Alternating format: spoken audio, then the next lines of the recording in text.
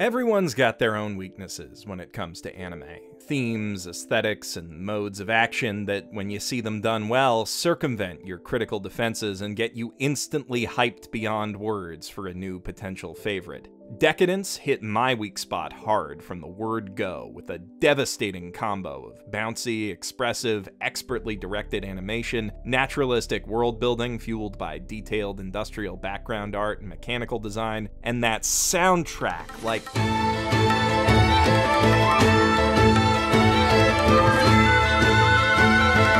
Dude! Masahiro Tokuda is better known for his J-drama OSTs, but he needs more anime work stat. That first episode hit me with such force that as soon as it wrapped, it became the first entry for the summer 2020 ones to watch, and while most of what I wrote that day can be heard in that video, I did have to rework my concluding paragraph after seeing more of the series. The original read as follows. I won't pretend Deca-Dence is perfect. There are a lot of cliche, by the numbers plot elements at play already, and it's not hard to guess what cards the series is holding on to based on what it's already laid on the table, barring any surprise trips to space anyway. But given the choice, I'll take a smooth, comfy, well planned journey through familiar territory over a rocky road to parts unknown, and with immersive world building, imaginative, well executed action, and conventional but immensely likable characters, Deca-Dence seems to promise just that.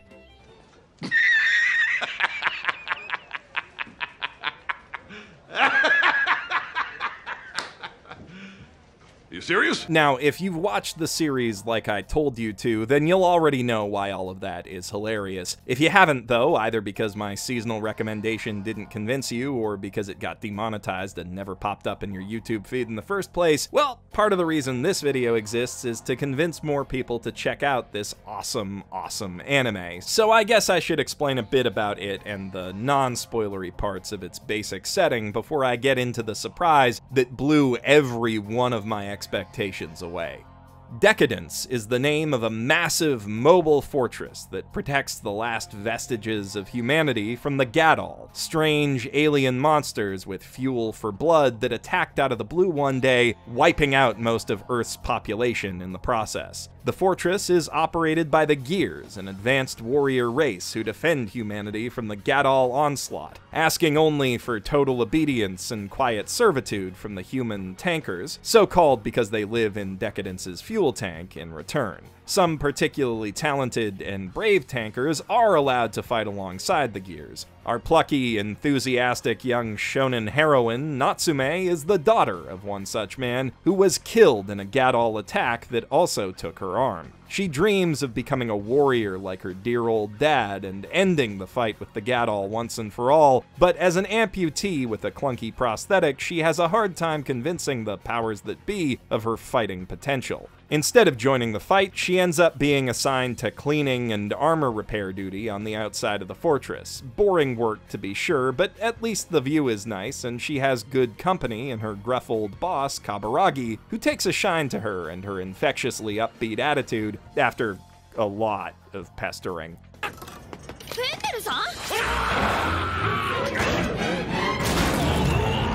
And Kaburagi turns out to be a very good friend to have when a freak accident sends them spilling over the side of the fortress and into a battle with the Gadoll. Turns out the gruff old man who doesn't talk much has a past. What a twist. And his apparent experience as a soldier allows him to expertly weave through the anti gravity field generated by the monsters, delivering killing blow after killing blow with a gun that launches these badass, blood sucking spike things into them. It's super cool.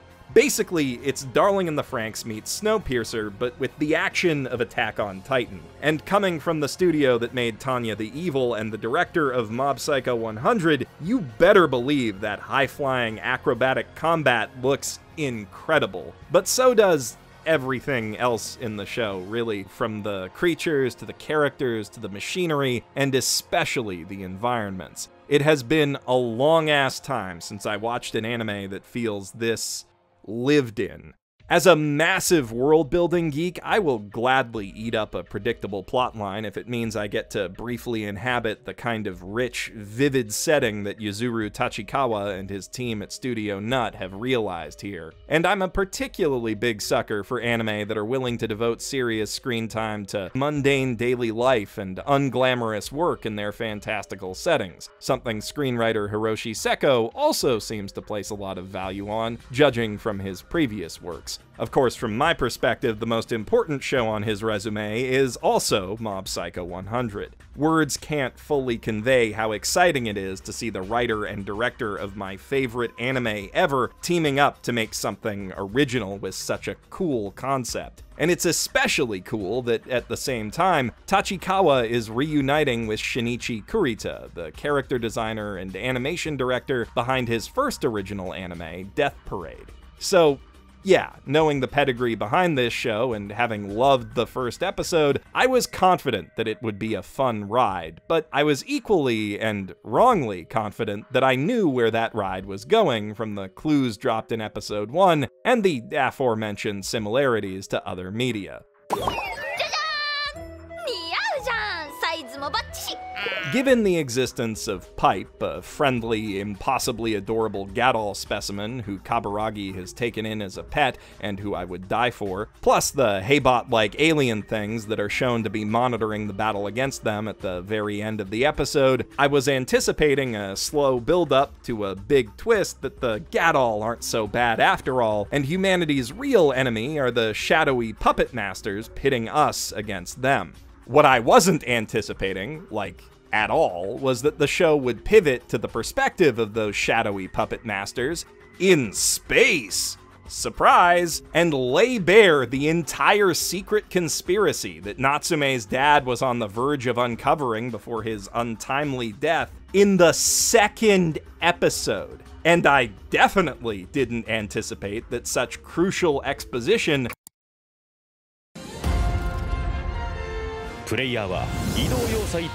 would come in the form of a commercial. For you see, the real reason that Natsume's world feels like a derivative hodgepodge of cliched science fiction tropes is that it is that thing. Deca-Dence is, in actuality, the handcrafted setting of an elaborate online game run by the Solid Quake mega corporation for the benefit of its cyborg workforce. Not a video game, mind you, but rather an action theme park thing that spans the entire Eurasian continent, where players pilot bioengineered avatars in thrilling aerial combat against bioengineered monsters with unique strengths and weaknesses and distinctive, easily readable designs. Think Monster Hunter meets James Cameron's Avatar meets Westworld, only the robots are the players and the NPCs are real ass human beings trapped in a fake ass apocalyptic hellscape that was painstakingly crafted on top of what used to be their civilization. It's one of those profoundly fucked up concepts that only gets scarier the harder you think about it, and it's just the starting point of what's revealed in the episode. Solid Quake's Society of Cyborgs is every bit as horrifying as the mobilized, mechanized human zoo that is its chief source of entertainment. The sole purpose of every one of its inhabitants is to obey and serve the system until they are scrapped by the corporation that owns them at a predetermined date or sooner if they step out of line and are deemed by the system to be bugs. While the aggressively cute and colorful aesthetic of this capitalist dystopia makes it simpler to draw, it's no less fascinating or complexly realized than the more conventional sci fi setting the series leads with. The cyborgs are fully fleshed out characters, minus the flesh, of course, with their own values, ambitions, insecurities, and hopes that the system invariably crushes. And while it's a very different flavor of world, I've enjoyed the time the series has let me spend there just as much as I have my time amid the industrial decay of decadence. We get to see the system through the eyes of Kaburagi, whose tragic backstory is actually that he was a pro gamer. As rankers, he and his friends once enjoyed an uncommon degree of freedom and fame for cyborgs, living in luxury as payment for mollifying the masses with their entertaining shows of skill. But when he chose to help a young up and comer cheat by lifting the sensory limiter between his brain and his avatar, the system decided to shut the whole ranker program down and Kaburagi was sent to work in Decadence, repairing armor by day and processing human bugs by night. では復唱してください世界にバグは不要です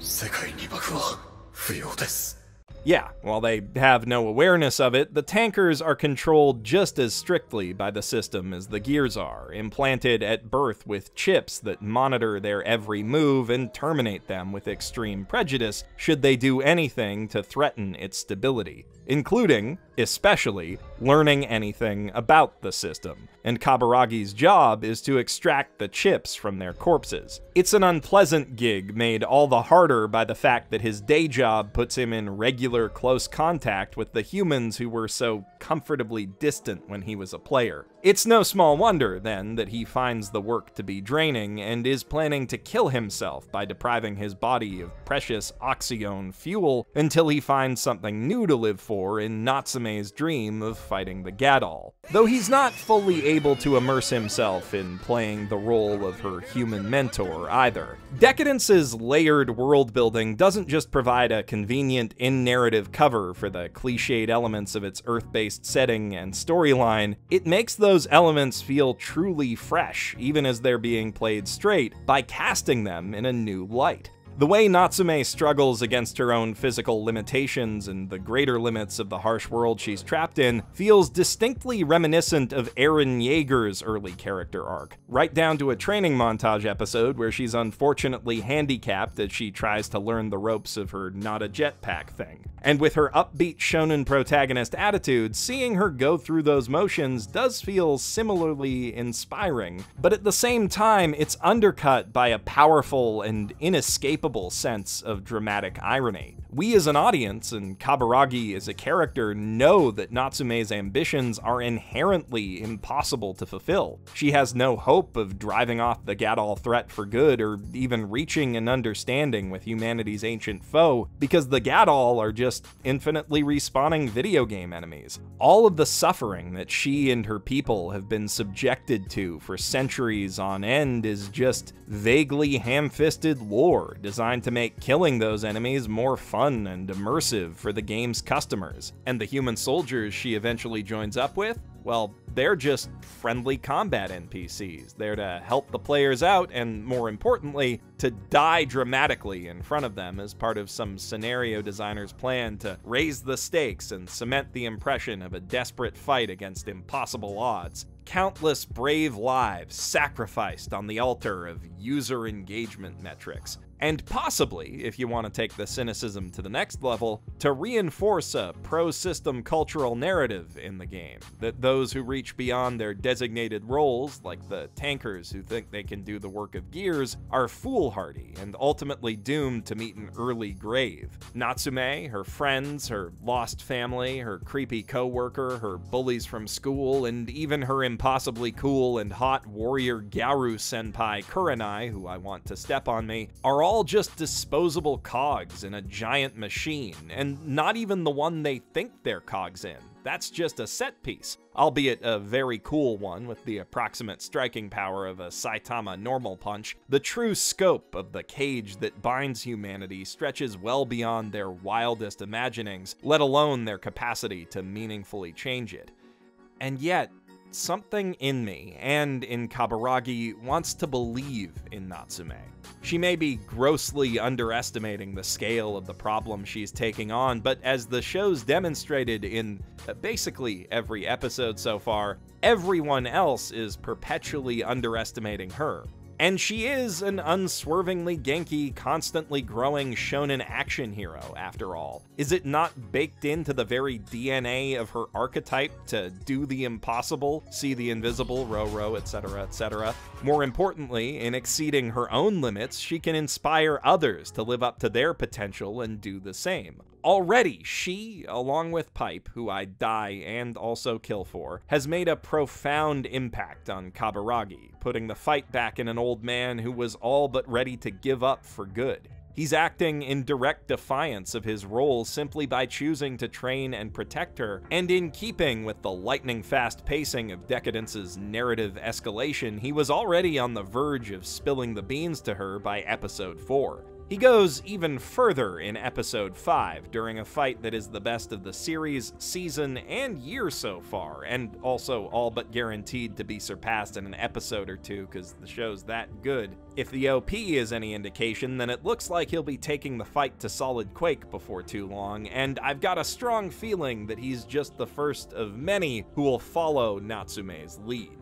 The reason that Kaburagi's boss, Rubik's Cube Dio, is so insistent that the world must be free of bugs is that bugs tend to have a knock on effect, one that only becomes more pronounced the more precisely the system to which they're introduced is engineered. Individual aberrations aren't much of a threat on their own, but no system of control can survive when the collective that comprises it begins acting in its own interest. There are a lot of interesting philosophical and political ideas at play in both of this series' worlds, and the way that those wildly different worlds are at once impossibly distant from and inseparably connected to one another adds another layer to that rebuking not just the notion that people should serve governing systems rather than the other way around, but the neo colonial delusion that we can somehow separate ourselves from the people we exploit. These ideas are presented in a manner that's both subtly nuanced and incredibly on the nose. I mean, the show's named for a giant walking fortress that houses all of humanity while channeling their collective work and willpower into a single massive fist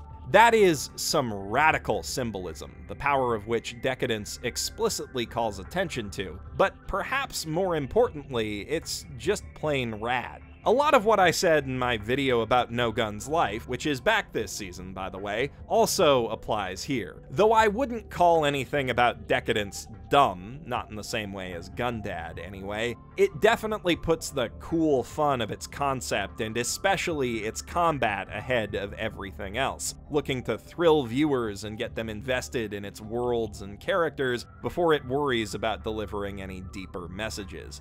I've compared this series to a lot of different anime in the last 15 some odd minutes, but in this, it reminds me most strongly of Tengen Toppa Gurren Lagann. Yuzuru Tachikawa's directing style and aesthetic sensibilities are obviously very different from those of Hiroyuki Imaishi, yet the shows have a very similar energy about them in their rapid pacing, kinetic Sakuga packed action, fluid, expressive character animation, spectacularly creative creature designs, willing willingness to embrace and toy with tropes, and, of course, their strict deference to the rule of cool.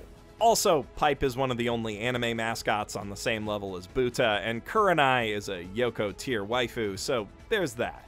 There aren't many anime that can make me feel the way Gurren does, not even Imaishi's other work, though all of his productions have their own unique qualities to recommend them by, but Deca-Dence really hits that mark while carving out its own distinctive identity. And given that said identity is heavily tied to a decaying industrial aesthetic and Attack on Titan inspired mode of action that speaks straight to my steampunk dweeb soul, this may even end up topping Tengen Toppa and a lot of other anime on my all time faves list. It also may not. The tricky thing about original anime is that there's no roadmap to let us know where we'll end up with them. But I'm loving the ride so far, and it's exciting not knowing where it's going next, especially when it had me thinking I had it all figured out in episode 1. I'm Geoff Thew, professional shitbag, signing out from my mother's basement.